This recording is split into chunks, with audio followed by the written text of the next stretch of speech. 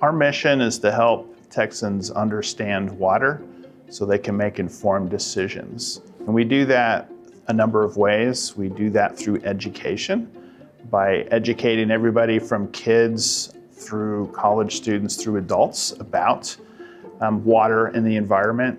We do that through stewardship by taking care of the springs and the river that flow through campus as well as rivers across the state.